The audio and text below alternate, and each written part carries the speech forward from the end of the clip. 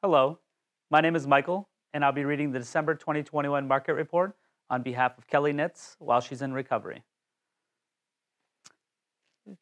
Welcome to the Anthony Wayne School Area Real Estate Market Update for December 2021. I'm Michael, and I'll be reading on behalf of Kelley Knitz with Remax Preferred. Today, we're going to look at the last month's activity and see what the market is telling us, so stay tuned.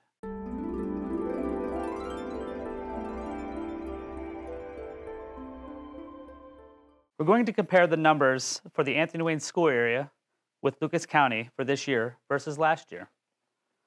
First, we're going to take a look at the number of active listings. The number of active listings in December of 2021 for Anthony Wayne School area were 68, which is down 29.2% from last year. Lucas County active listings are 820, which is down 9.4% from last year. The average days on market is an important indicator, and we'll see how that looks next. The average days on market, December 2021 for Anthony Wayne School area, was 61, which is down 30.7% from last year. Lucas County had an average of 65, which is down 5.8% from last year. The number of homes sold or closed sales tells us what a home buyer what home buyers are doing. So we'll check that out next.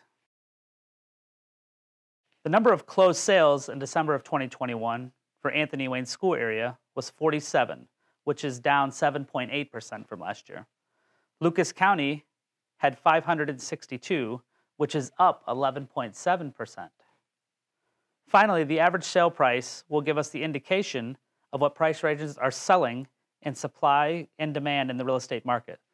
Let's see how we're doing. The average sale price for December of 2021 for Anthony Wayne School area was 327,404, which is down 3% from last year.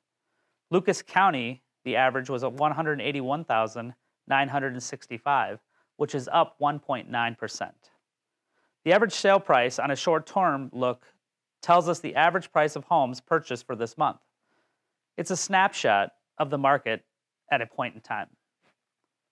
To get an idea of the long-term direction of prices, check out the graphs below this video. If you'd like an accurate value of your home or the homes in your neighborhood, call or text Kelley at 419 779 6229 and she'd be glad to help you.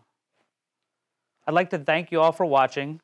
I found this very, this very informative and helpful. Please like and subscribe to be notified when the next report becomes available. Thanks again.